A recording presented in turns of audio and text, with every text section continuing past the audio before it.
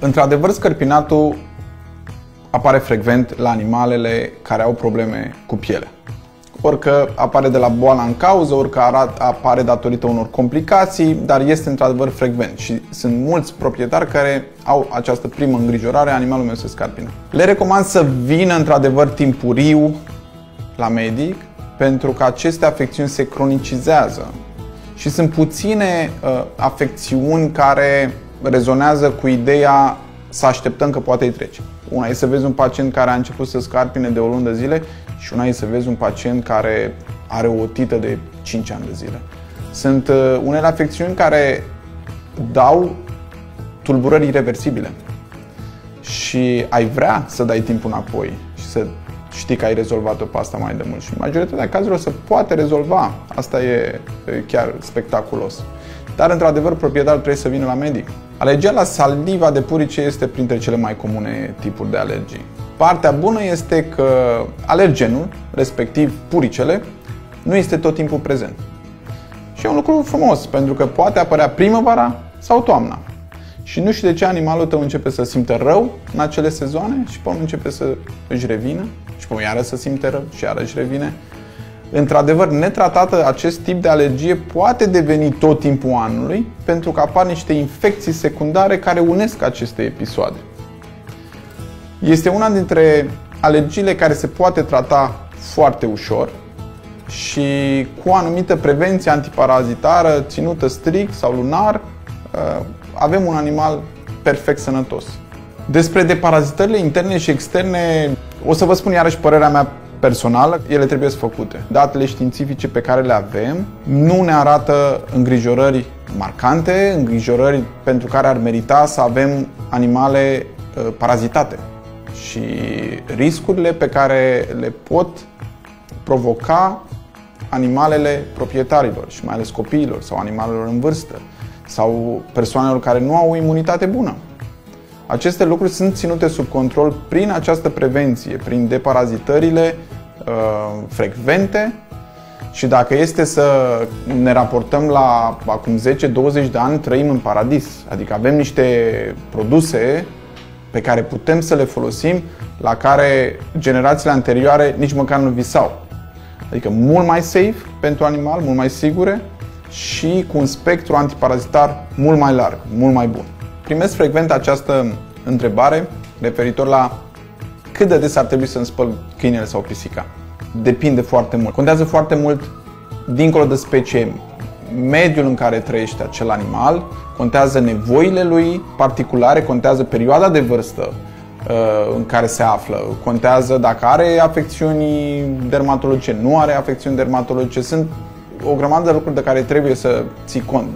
Ok, răspunsul cel mai simplu întreabă medicul veterinar. Aș putea să mai adaug caracteristici generale dacă animalul meu nu are o problemă cu pielea și pur și simplu vreau de întreținere, dincolo de alegerea unui șampon hipoalergeniu, care știu că nu irită, nu face rău, uh, o perioadă frecventă ar putea să fie între 3 și 6 săptămâni în funcție de cât de gras să se face blana, dacă începe să miroase animalul meu sau nu, poate să varieze între 3 și 6 săptămâni. La pisică ceva mai rar, pentru că ea linge și își face o toaletă și atunci iarăși la 3, 6 luni, 9 luni, unii proprietari nu fac asta niciodată. Iar dacă vorbim de un animal de curte, repet, fără afecțiuni dermatologice, o dată de două ori pe an ar putea să fie suficient.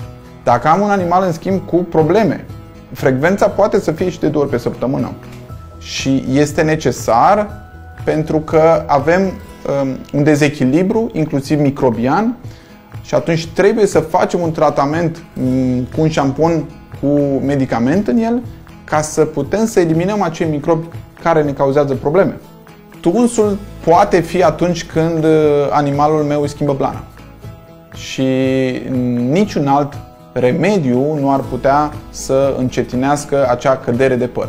Trebuie să înțelegem că este un proces fiziologic, perfect normal. Animalul nostru de două ori pe an o să trebuiască să piardă toată blana de pe el, în mare parte, și să o înlocuim cu alta. Atunci când lucrurile sunt insuportabile, unii proprietari preferă să tundă animalul respectiv, astfel încât uh, senzația neplăcută să fie mai mică.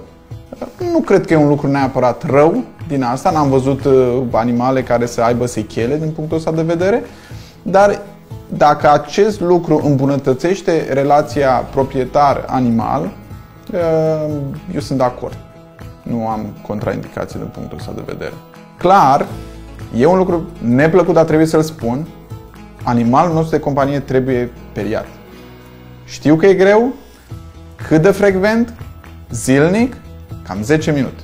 În momentul în care nu reușim să facem acest lucru, eu ca proprietar de animal pot să vă spun că nu reușesc să fac acest lucru, e uman, se mai întâmplă, dar trebuie să ne așteptăm ca acolo, um, în blana respectivă, să acumulează uh, o cantitate mare de fire de păr moarte. Și aceea o să o vedem prin apartament.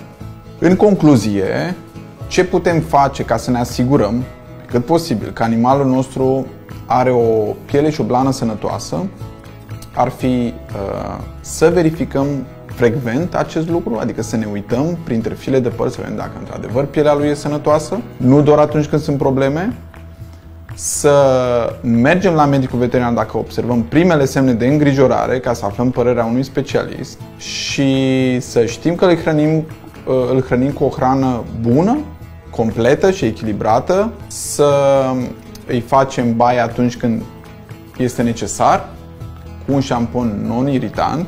Deparazitarea este un lucru important în integritatea pielii. Aș vrea să rezum succint că pielea și blana animalului sunt într-adevăr oglinda sănătății animalului.